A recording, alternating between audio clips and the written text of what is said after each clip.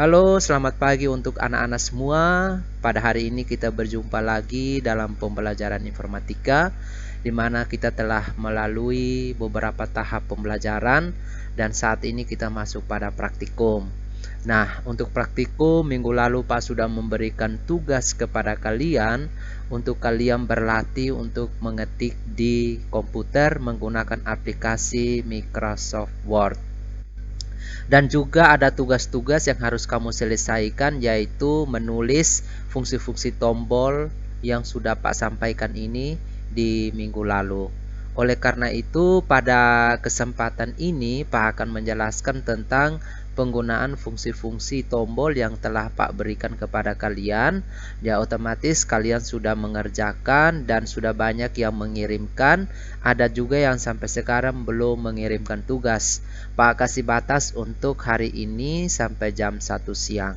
Jika yang belum mengerjakan, belum mengirimkan, maka apa akan memberikan dia nilai nol. Dan terima kasih untuk anak-anak yang sudah mengirimkannya dan semuanya Pak sudah periksa dan Pak sudah berikan nilai. Nanti sebentar setelah jam 1 Pak akan foto dan kirim lagi di grup kalian masing-masing. Oke, kita mulai pembelajaran hari ini. Namun sebelumnya, marilah kita mengawalinya dengan doa. Kita berdoa menurut ajaran dan agama kita masing-masing. Berdoa dimulai.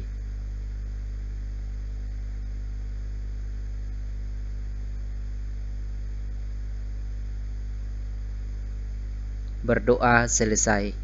Baik anak-anak, uh, hari ini tujuan pembelajaran kita adalah kalian setelah melihat video pembelajaran ini, kamu bisa mengerjakan tugas di aplikasi Microsoft Word menggunakan tombol-tombol keyboard. Nah, tombol-tombol keyboard ini yang sudah Pak sampaikan minggu lalu yang kalian kerjakan sehingga kamu sudah menjadi pedoman atau dasar untuk pembelajaran materi hari ini, yaitu ada tombol-tombol yang sudah Pak sampaikan. Nah, hari ini uh, pembelajaran kita Pak akan mempelajar menyampaikan khusus tentang tombol-tombol tersebut. Uh, karena uh, ketika kalian uh, menguasai tombol-tombol uh, keyboard uh, dengan fungsi-fungsinya, maka kalian akan lebih mahir atau lebih lincah dalam mengetik atau mengerjakan tugas di Microsoft Word. Oke, uh, untuk yang pertama itu fungsi yang pertama itu uh, kemarin tentang ESC itu kepanjangan dari escape ya itu kepanjangan dari escape jadi kalau untuk uh, tombol escape ini sebenarnya uh, untuk membatalkan suatu perintah ya. Tombol escape ini untuk memba uh, untuk membatalkan sebuah perintah. Terus uh, ini kepanjangannya dari escape escape ya. Singkatannya ESC lalu yang kedua tab ya. Tab ini uh, tabulasi tabulation. Itu untuk memindahkan uh, kursor ya. Untuk memindahkan kursor. Pak kasih contoh seperti ini. Nah, misalkan uh, ini kursornya saya berada di judul. Ketika saya tekan tombol tab dia akan berpindah ya. Dia akan berpindah ke kanan. Nah ini penggunaan uh, tab. Ya. Lalu yang kedua itu ada tombol caps lock nah tombol caps lock ini fungsinya untuk uh, membuat huruf besar atau huruf kapital. Nah, contohnya seperti ini. Misalkan uh, tulisan ini, nah, saya mau mengetik supaya tulisannya itu semuanya huruf kapital. Maka di keyboard itu saya aktifkan tombol caps lock. Misalkan saya ketik kalimat selamat datang. Nah, selamat datang. Nah, ini uh, menggunakan caps lock. Tetapi misalkan kalian um, sudah terlanjur mengetik huruf kapital atau uh, kalian mengetik uh, tanpa mengaktifkan tombol keyboard, misalkan kalian ketik kalimat selamat datang, tapi kamu sudah terlanjur ketik huruf kecil. Nah, bagaimana caranya sehingga kalian tidak menghapus tetapi uh, kata selamat datang ini berubah otomatis menjadi caps lock. Nah, anak-anak silakan kalian blok ya. Lalu langsung tekan tombol shift F3 jadi tekan tombol shift F3 di keyboard lalu tekan tekan shift tahan baru tekan F3 nah ini dia langsung berubah otomatis menjadi huruf kapital. Nah kalau kamu mau kembali huruf kecil tinggal tekan shift tombol shift lalu F3 dia akan kembali huruf kecil lalu tekan lagi satu kali tombol shift F3 dia huruf depannya menjadi huruf kapital. Lalu tekan lagi tombol shift F3 maka uh, tulisannya akan menjadi kapital semua. Nah, itu uh, fungsi dari penggunaan caps lock dan shift F3. Anak-anak ingat shift F3. Ya, itu tidak ada di tugas tapi hari ini Pak sampaikan. Nah, yang berikut uh, tentang alt alt and control. Nah, Alt and Control itu untuk membuka dokumen baru. Ini ada yang menjawab untuk membuka dokumen baru. Ya. Ya. Lalu yang berikut delete. Ya. Delete itu mm, untuk menghapus dari sebelah kiri. Ya. Misalkan saya mau menghapus kata bidang. Saya menggunakan sekarang kursornya ada di belakang kata bidang ini. Maka saya tidak bisa menggunakan uh, delete tapi saya gunakan backspace nah, berarti backspace itu menghapus kata kalimat atau huruf dari kanan ke kiri nah sedangkan delete itu posisi kursornya harus berada di depan kata di depan kata atau kalimat tersebut. Misalkan saya mau mau hapus kata bidang. Berarti kursornya ada di depan kata bidang, berarti saya menghapusnya menggunakan delete, ya. Berarti delete itu fungsinya untuk menghapus kata, kalimat atau huruf dari posisi uh, kiri ke kanan. Oke, baik. Selanjutnya uh, fungsi tombol enter. Nah, fungsi tombol enter itu untuk membuat uh, baris baru. Ya, contoh Misalkan saya sudah mengetik, maka saya tekan enter. Nah, tekan enter artinya dia membuat baris baru. Kita lanjut ke tombol insert. Ya, tombol insert itu untuk memasukkan uh, untuk menyisipkan karakter atau gambar yang kita inginkan. Lalu ada tombol home itu kembali ke awal. Lalu tombol picks up. Ya picks up itu untuk kita uh, naik uh, turun ke bawah. Misalkan saya sekarang uh, saya geser. Ya saya pakai picks up. Nah, dia akan kembali ke posisi awal. Ya lalu saya pakai picks down berarti dia naik ke atas ya. nah, tuh Selanjutnya ada tombol N untuk kembali ke akhir dan ada fungsi F1, F2. Backspace-nya Pak sudah jelaskan, Shift juga Pak sudah jelaskan kombinasi dengan F3. Nah, sekarang kita masuk ke eh, tombol-tombol uh, Ctrl A sampai Ctrl Z. Nah, anak-anak uh, perhatikan tombol Ctrl A sampai Z karena ini sangat penting untuk kalian kuasai. Nah, tunggu Pak perbesar. Jadi anak-anak ketika kalian menulis harapan Pak itu kalian sudah praktek sehingga kamu bisa tahu fungsinya. Jangan hanya asal kalian menulis lalu tidak tahu maksud tujuan uh, diberikan tugas itu artinya supaya kalian bisa belajar lebih uh, mendalam tentang materi yang Pak sampaikan. Nah, sekarang uh, kontrol A. Kontrol A itu kombinasi antara tombol kontrol dengan A. Jadi misalkan itu fungsinya untuk uh, blok semua teks. Ya. Misalkan ini kalau saya blok itu kan biasa kita tekan mouse, tekan bar in. Tapi kalau saya mau blok semua tinggal saya tekan kontrol A. Nah, ini dia akan memblok keseluruhan teks. Ya. Itu fungsi dari kontrol A. Selanjutnya ada kontrol B. B itu artinya bold. Bold ya, menebalkan huruf. Jadi, misalkan saya mau menebalkan huruf atau kata komputer. Tinggal saya blok, saya tekan Ctrl B. Ya, maka hurufnya akan menjadi tebal. Ya. Kalau saya mau kembali lagi ke semula, saya tekan kembali Ctrl B. Ya. Jadi Ctrl B itu fungsinya untuk menebalkan huruf. Anak. Berikut uh, Ctrl C. Ctrl C itu copy atau menggandakan teks. Contohnya, misalkan saya mau menggandakan teks ini, judul ini saya mau menggandakan. Ya, saya tekan Ctrl C.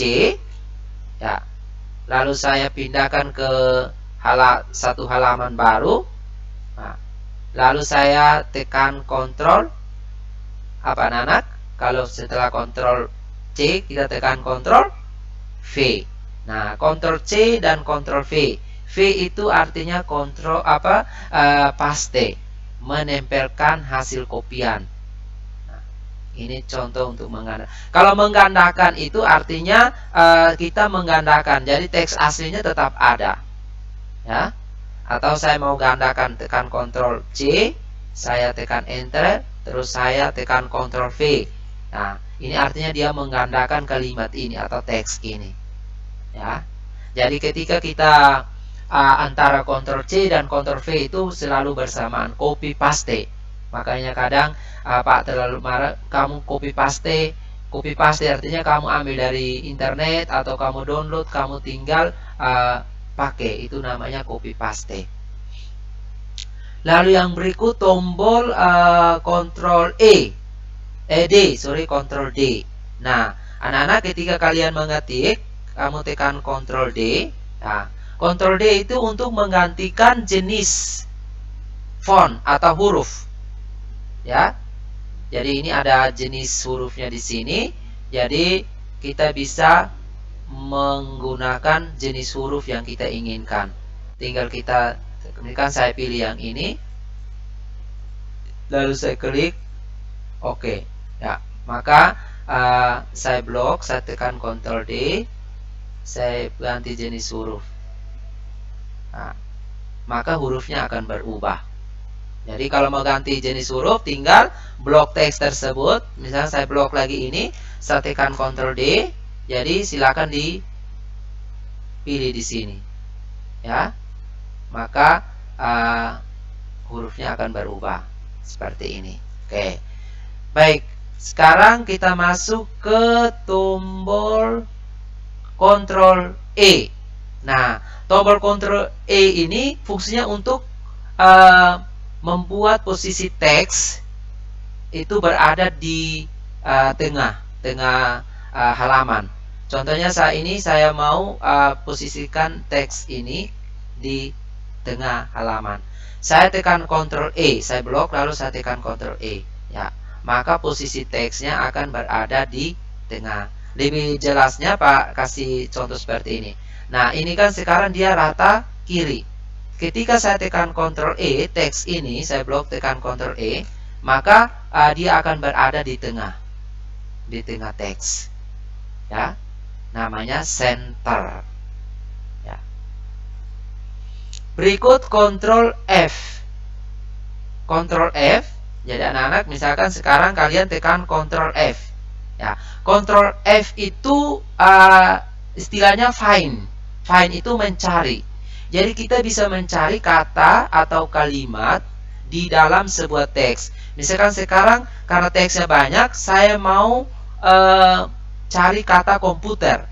Saya ketik komputer. Ya. Lalu saya klik find next. Nah, maka kata yang komputer semuanya akan diblok otomatis. Ya, kita mau hitung kata komputernya ada berapa. 1, 2, 3, 4, 5, 6, ya 7. Berarti di dalam teks ini ada 7 kata komputer yang uh, kita melakukan pencarian menggunakan tombol find. Jadi find ini digunakan untuk mencari kata atau kalimat dalam sebuah teks. Selanjutnya, Ctrl G. Nah, Ctrl G ini kemarin antara Ctrl F, G, H itu sebenarnya satu perintah, tapi fungsinya masing-masing. Kalau tadi Ctrl F ini fungsinya untuk mencari, sementara Ctrl G itu dia go to. Ya, go to itu dia pergi ke halaman tertentu. Contoh seperti ini. Nah, ini uh, teks ini ada dua halaman saja. Jadi saya uh, misalkan kita menggunakan kita ada memiliki uh, teks ini atau uh, ketikan kita itu sampai 10 halaman atau 100 halaman. Maka kita mau ke halaman 98 misalkan. Tinggal kita tekan Ctrl G lalu kita tinggal masukkan uh, halaman yang dituju, ketik next maka otomatis uh, dia akan uh, berpindah ke halaman tersebut. Nah, ini teksnya hanya cukup dua halaman. Misalkan saya coba halaman kedua, saya mau ke halaman kedua. Ketik klik go to. Nah, dia akan berpindah ke halaman 2. Nah, ini teksnya hanya dua halaman. Kalau misalkan teks ini ada 10 atau 100 halaman, kalian mau berpindah ke halaman berikutnya, kalian menggunakan perintah Ctrl G, go to. Oke, anak-anak. Sekarang kita ke Ctrl H. Ctrl H itu uh, saya tekan Ctrl H.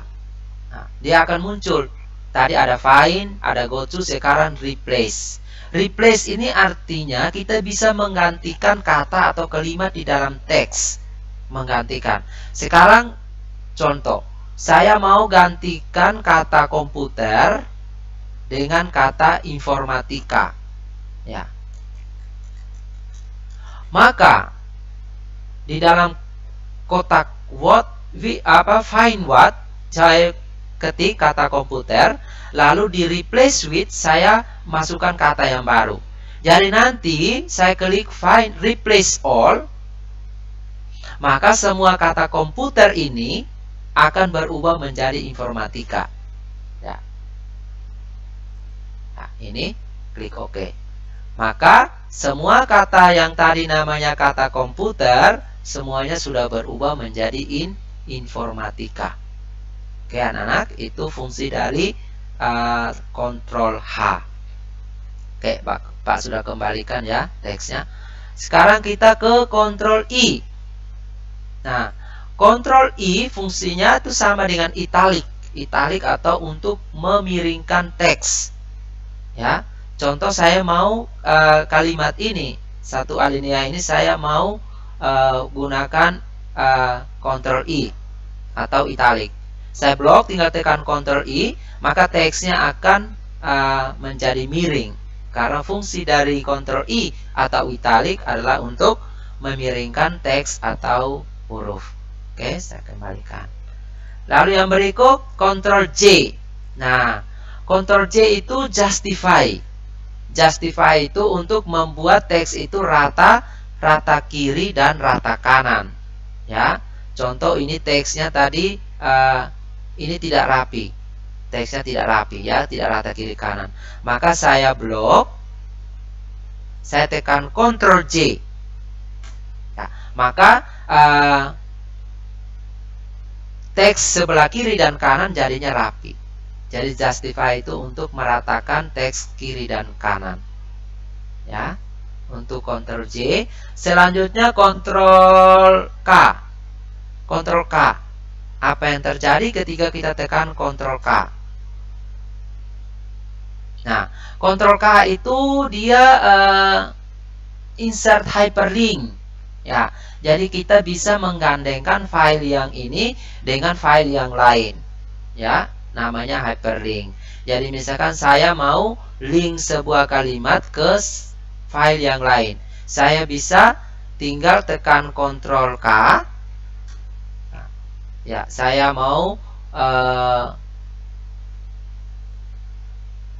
link ke dokumen lain. Ya link ke dokumen lain. Tinggal kita klik. Maka nanti di kata Piranto ini dia akan uh, link ke teks yang lain. Dia akan ada link ke teks yang lain. Oke kita lanjut.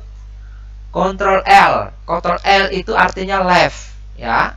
Left left itu dia ke kiri. Jadi misalkan sekarang teks ini saya tekan Ctrl L. Ya, berarti dia ratanya ke bagian sini, bagian kiri. Ya, ininya tidak rata, tapi di bagian kiri ini dia rata. Jadi, Ctrl L itu untuk meratakan teks bagian kiri. Ctrl M. Ctrl M itu sebenarnya fungsinya sama dengan tab. Tab. Ya. Ini contoh saya mau pindahkan teks ini ya, saya tekan Ctrl M. Nah, ini saya gunakan Ctrl M untuk dia pindah ke posisi berikutnya. Nah, mau kembali, mau kembali saya tekan Ctrl Shift M. Nah, Ctrl Shift M. Jadi saya gunakan Ctrl M itu sama kayak seperti tab. Mau kembali tekan Ctrl Shift M. Nah, itu fungsi dari Ctrl M. Sekarang Ctrl N. Nah, Ctrl N ini new. N itu new, artinya membuat dokumen baru. Ketika saya tekan Ctrl N, maka dia akan membuat dokumen baru. Berikut Ctrl O. O itu open. O itu open. Jadi open saya tekan Ctrl O, berarti saya bisa mau membuka teks yang lain. Ya, membuka dokumen yang lain. Tinggal tekan Ctrl O. Mau membuka file, kita bisa tekan Ctrl O. Lalu yang berikut Ctrl P. Ctrl P itu print. Ctrl P itu print. Nah, ini jadi uh, print itu samanya mencetak. Kalian mau mencetak teks, jadi otomatis kamu yakin bahwa komputer atau laptop kalian sudah terhubung ke alat yang namanya printer. Nah, karena P itu artinya print. Tekan kalian tekan Ctrl P artinya kalian siap untuk mencetak dokumen. Tetapi harus yakin bahwa komputer kalian sudah harus terhubung dengan alat yang namanya printer. Berikut Ctrl key. Apa yang terjadi ketika kita tekan Ctrl key? Nah, Ctrl key itu dia bisa fungsinya bisa sama. Ya. Ini Ctrl key. Ya. Bisa sama seperti left. Ya kontrol key itu uh, bisa sama seperti left. Ada yang menjawab di sini bilang menghapus editing. Ya jadi ketika kita tekan kontrol key maka dia bisa meratakan kiri uh, posisi teks ke kiri ya misalkan ini saya sekarang tidak rapi saya tekan kontrol key maka dia akan rapi Misalkan teksnya sekarang tidak rapi, dia rapinya ke sebelah kanan. Tapi ketika teks ini Pak tekan Ctrl key, maka dia akan rapi ke sebelah kanan. Jadi key itu bisa fungsinya hampir mirip sama dengan uh, Ctrl L. Sekarang kita ke Ctrl R. R itu right ya kanan. Jadi kita bisa meratakan teksnya teks ini bisa kita ratakan di sebelah kanan. Nah, sekarang dia akan rata kiri. Saya tekan Ctrl R, maka teksnya akan rapi atau rata ke samping kiri. Berikut Ctrl S. Nah, S itu save untuk menyimpan teks atau dokumen kita. Jadi ketika kita sudah mengetik, kita harus simpan supaya teks kita kita bisa pakai lagi atau buka lagi ketika kita inginkan. Jadi kalau tidak disimpan otomatis ketika kita matikan komputer maka teksnya akan hilang. Nah, jadi kita tekan Ctrl Save. Nah, seperti ini, maka kita menulis nama dari praktek apa teks tersebut, filenya kita tulis, lalu drive-nya tinggal kita pilih mau simpan di mana, lalu tekan tombol save. Berikut Ctrl T. Ya, Ctrl T itu uh, di sini ada yang menjawab membuat paragraf mengandung, menggantung, membuat paragraf menggantung. Ini ada juga yang hanya jawabnya asal jawab ya. Jadi ini kontrol ketika teksnya saya posisikan di sini saya tekan kontrol T nah apa yang terjadi? Nah seperti ini. Dia merapikan tapi uh, alinea atau uh, dia condong ke kiri. Jadi seperti ini. Nah, ini kita menggunakan uh, tombol atau Ctrl T ya jadi posisi semula seperti ini. Ketika saya tekan Ctrl T maka dia akan model seperti ini. Nah anak-anak bentuknya seperti ini. Sekarang kita ke Ctrl U. Ctrl U U itu underline. Underline artinya kita mau menggarisbawahi teks. Misalkan saya mau menggarisbawahi kalimat ini, maka saya tekan Ctrl U. Ya, maka teks ini akan digarisbawahi. Ya, mau kembali saya tekan Ctrl U.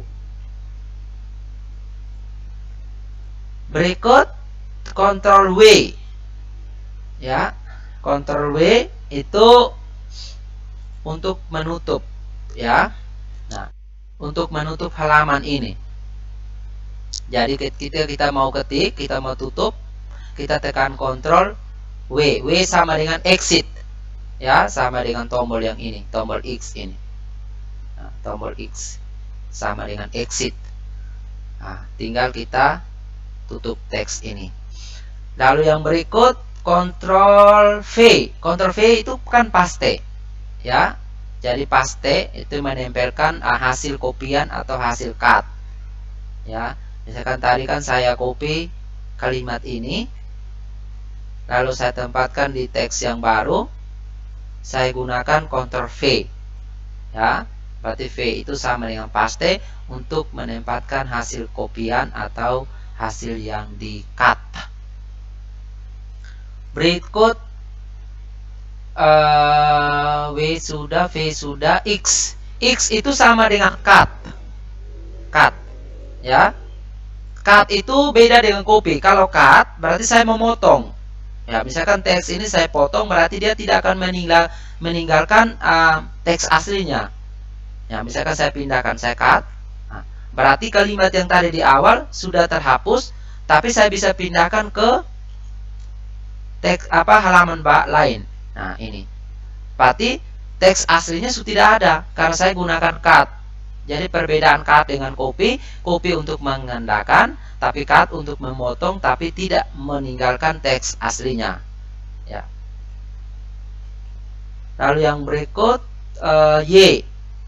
Ctrl Y itu sama dengan redo. Ah, terus Ctrl Z itu undo. Nah, Pak jelaskan Ctrl Y dengan Ctrl Z. Nah, contoh, misalkan uh, teks ini ketika saya ketik ini teks ini saya ketik lalu kaget-kaget uh, saya uh, tidak sadar terhapus. Maka saya bisa panggil kembali teks tersebut dengan menggunakan Ctrl set nah ini. Nah, Ctrl set nah, terus saya mulai uh, pindahkan. Misalkan saya posisi begini. Nah, saya bisa kembalikan posisi ini menggunakan tombol redo atau Ctrl Y. Ya. Nah, ini tadi saya sudah ini. Misalkan uh, ini saya sudah hapus. Nah, saya mau panggil kembali, saya tekan Ctrl Z. Menghapus kembali tekan Ctrl Y. Jadi ini tekan Z Y. Set Y. Jadi kontrol set itu sama dengan uh, ando, sementara kontrol R eh, Y itu sama dengan redo. Oke baik anak-anak, uh, itu sudah Pak jelaskan semua tentang fungsi dan tombol-tombol yang sudah Pak sampaikan tugas minggu lalu. Nah, sekarang untuk memperdalam uh, pengetahuan kalian tentang kalian mengetik, bagi yang belum mengerjakan tugas, mohon dikerjakan tugas minggu lalu. Tugas yang pertama yang Pak kasih, nah, itu Pak buka kembali link. Ya.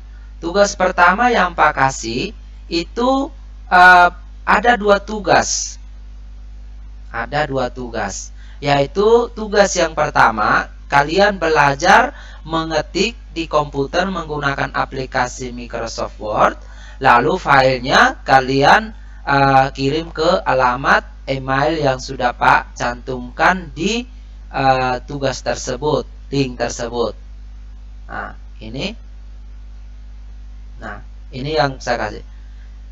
Jadi tugas yang kemarin saya kasih itu bagi yang belum ketik mohon perhatikan ketik tugas di bawah ini dengan aplikasi Microsoft Word dengan perhatikan jenis huruf, ukuran huruf, style huruf, italic, bold, dan underline. Format teks, center, right, left, dan justify. Tugas diketik dan disimpan dengan nama file, praktikum, nam, praktikum nama kelas. Jadi kamu simpan filenya, tulis ke tulis uh, nama filenya sorry. Nama filenya lalu nama kalian lalu dengan kelas sehingga Pak bisa tahu oh ini namanya siapa tugasnya siapa kelas berapa. Lalu untuk kelas 7A B C D E kirim ke alamat emailnya Pak. Ingat tidak boleh salah ketik. Lalu 7F G H kirim ke emailnya Ibu Erlin Lalu 7IJK kirim ke emailnya Pak Yandri. Ya, karena kita masing-masing periksa kelas yang kita ngajar. Tugas ini batasnya kemarin, tapi Pak kasih uh, toleransi sampai hari ini jam 1. Lalu tugas yang kedua untuk seluruh siswa. Jadi bukan berarti yang sudah mengetik di komputer terus tugas yang kedua tidak kerja, tetap dikerjakan. Tugas kedua ini berlaku untuk yang ada laptop maupun yang tidak ada laptop.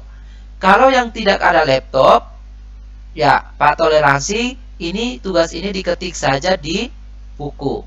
Buku tugas lalu difoto dan kirim ke WA Pak. Lalu yang ada yang ada laptop sudah mengerjakan tugas pertama, ini juga diketik ah, ditulis, maaf sore, ditulis di buku tugas lalu dikirim karena ada dua nilai. Ya mohon dikerjakan karena nanti pada saat ujian pas penilaian akhir semester ada sebagian soal akan Pak ambil dari uh, fungsi tombol-tombol ini. Oke baik, anak-anak bisa paham. Hari ini Pak akan kasih lagi tugas untuk uh, melatih kalian mengetik di Microsoft Word.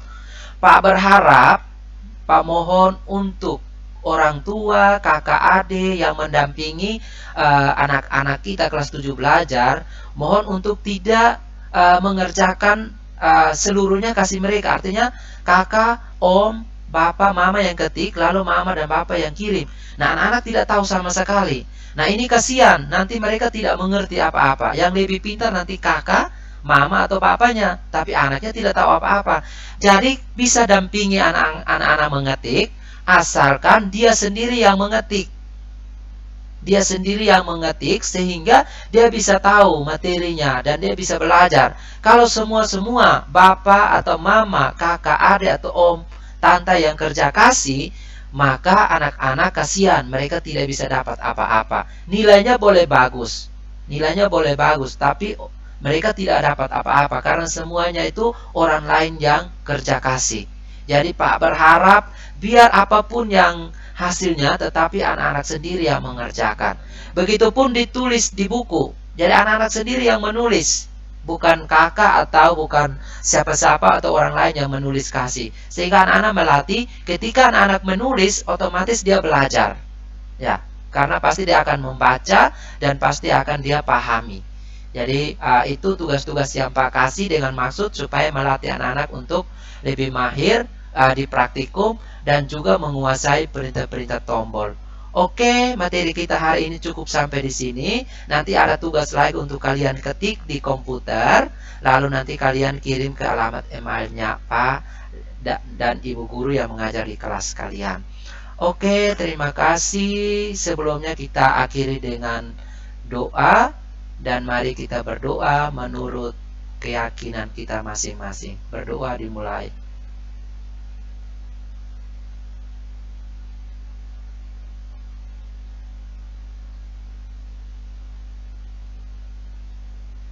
Berdoa selesai. Oke, anak-anak, terima kasih. Sampai jumpa lagi di pertemuan berikutnya. Mohon untuk persiapan diri dari sekarang karena mulai awal Desember, mulai awal Desember, Pak lihat tanggal. Ya. Mulai awal Desember sekitar tanggal 1 sampai tanggal 5 itu kita sudah mulai ujian akhir semester atau penilaian akhir semester. Jadi anak-anak mohon semua tugas-tugas yang diberikan oleh Bapak Ibu guru mohon diselesaikan sebelum ujian. Karena resikonya ketika sudah ujian selesai, Bapak Ibu guru akan mengolah nilai dan kalau ada nilai yang tidak ada dan kalian akan dirugikan. Kasihan nilai kalian di raport semester 1 nanti tidak ya, seperti yang kalian inginkan. Pak berharap kalian harus mengerjakan semua tugas dan semua materi yang sudah diberikan dikerjakan atau diikuti dengan baik. Oke, terima kasih. See you next time. God bless you. Dadah.